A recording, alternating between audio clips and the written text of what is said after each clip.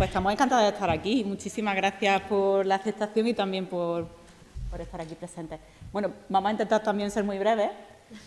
Eh, lo que presenta esta diapositiva es el arranque de nuestro proyecto. Eh, está basado en un proyecto de innovación docente y el germen fue el hecho de que nosotras combinamos nuestras facetas de académicas con profesionales de la traducción. Y nos dimos cuenta de que están viniendo muchísimos encargos de traducción en los que existen necesidades lingüísticas que el español no puede abordar. Por ejemplo, el género no binario, es decir, que independientemente de si estamos de acuerdo o no con el uso del lenguaje inclusivo, los proyectos de traducción ya requieren que el español acomode estas nuevas realidades.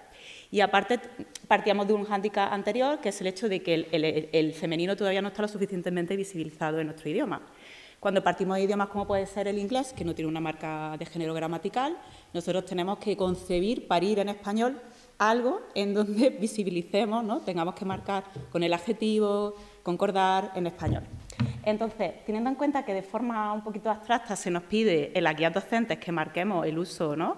de una serie de metodologías que están transidas del enfoque de género, pues se nos ocurrió hacer esta propuesta. Bueno, básicamente son los objetivos que perseguimos, que aparecen ahí, lograr que el estudiantado tome conciencia de los sesgos de género en los discursos especialidad. Uy, que no soy yo. Eh, generar actividades de transferencia en donde el estudiantado sea agente de concienciación sobre la ventaja del uso del lenguaje inclusivo y colaborar, que es lo que nos proponemos hoy, con otros grupos de investigación. Porque, claro, eh, la traducción es transversal a muchísimas disciplinas. Entonces, eh, para pasar la frontera del inglés, del español, del italiano, del francés, nosotros estamos ahí un poco ahorcajados entre distintos mundos. Aparte de nuestros propios egos como personas, vamos a acarrear otros egos que se propician en discursos de partida. Esta es la metodología que utilizamos. En primer lugar, pasamos un cuestionario preliminar. Los resultados, algunos sí que eran, digamos, estaría dentro de lo esperado y otros, sin embargo, nos chocó bastante. Es decir, todavía no hay conciencia de que ciertos discursos de carácter científico-técnico, por ejemplo, tienen sesgo de género, de partida. En segundo lugar, lo que hicimos es generar pues, una especie de, metodología de muñequita rusa, es decir, partimos de la selección de guías de guías eh, de lenguaje inclusivo en distintos idiomas. Son los estudiantes los que adquieren un rol más activo, entonces realizan una búsqueda documental, la seleccionan y, digamos, la novedad sería que lo hacemos desde un punto de vista multilingüe. Y finalmente, pues lo que hicimos es que ellos mismos adoptaran un rol en este sentido también activo, fuera del aula. Es decir, se convirtieron en agentes de transferencia social en institutos de Córdoba y provincia de distintos sentidos. O sea, eh, seleccionamos colegios concertados, no concertados, religiosos, no religiosos, etcétera. Le paso la palabra a Carmen.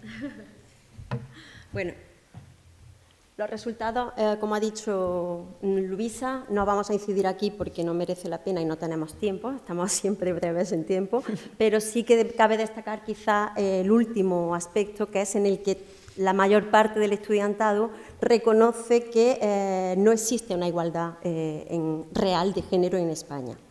Nos interesa más incidir en este, en este proyecto, que es el que para nosotros es nuestro bebé realmente, porque a partir de ese análisis con el estudiantado y de ese trasvase a la sociedad eh, en los institutos de secundaria, pues ahora, gracias al apoyo financiero del Vicerrectorado de Igualdad, vamos a publicar en un COPRES ese resultado de guía de guías que efectivamente difiere en cuanto a otros recursos que ya existen por el análisis contractivo entre los diferentes idiomas. Es la novedad de este, este recurso.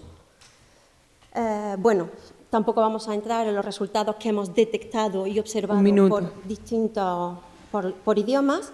Sí que nos interesan las conclusiones que hemos obtenido porque el estudiantado ha verbalizado que a fecha de hoy tiene un mayor conocimiento de la perspectiva de género y un aumento de su conciencia respecto al poder que el lenguaje tiene para visibilizar, pero también para ocultar, eh, el desarrollo de la competencia de género de forma contrastiva entre las lenguas, que hemos dicho que es el elemento más novedoso. Muy interesante ha sido la colaboración entre alumnado, profesorado y sociedad, en el proceso que hemos llevado a cabo en las distintas fases y pensamos que con este resultado esa publicación pues va a haber un mayor aumento del impacto social de las cuestiones de género relacionadas con el lenguaje y con las diferencias culturales. Pues para el futuro lo que prevemos es, que todas esas estrategias, recomendaciones que se han extraído del análisis de esas guías, que aparecen en el resultado de la guía de guías, pues se apliquen en el aula, en el laboratorio, en el mercado y, por supuesto, pensamos en la colaboración, como también ha, hecho ya, ha observado oh, Luisa, la colaboración con otras áreas de conocimiento, tanto de la Universidad de Córdoba como fuera de otras universidades en España o incluso fuera. Ese es nuestro trabajo y muchísimas gracias. Muchas gracias por ajustaros al tiempo.